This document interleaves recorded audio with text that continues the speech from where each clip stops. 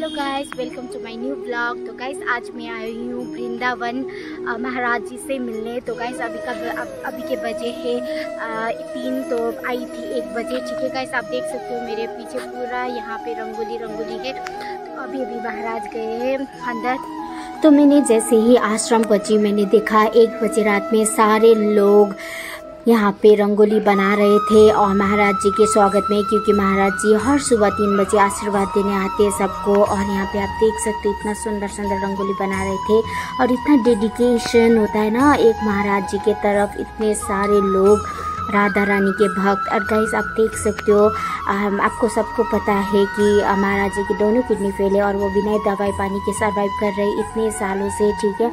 तो गाइस आपको पता है यहाँ पे इतनी ज़्यादा भीड़ और इतने ज़्यादा लोगों की भक्ति, श्रद्धा, आस्था देखकर मुझे सच में आँखों से आँसू आ गया क्योंकि मुझे बहुत ज़्यादा पसंद है महाराज जी से आशीर्वाद लेना क्योंकि मेरा पहली बार था, मेरा बहुत पहले से इच्छा था कि मैं भी आशीर्वाद लूँ महाराज जी से। तो फाइनली मेरा इच्छा पूरा हो गया, मैंने महाराज जी को बहुत करीब से देखा तो मेरी आँखों से आँसू आ गए। गाइस आप भी एक बार ज़रूर जाना वृंदावन। राधे राधे।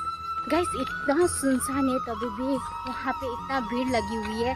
आप जान सकते हो, इसी भीड़ के है वो देखते ही कि मन, लोगों के मन में कितना श्रद्धा, भक्ति, आस्था है। गाइस तो मुझे बहुत अच्छा लगा दर्शन करके। अगर आपको भी मौका मिले तो ज़रूर आना गुरु जी के दर्शन करने, ठीक है?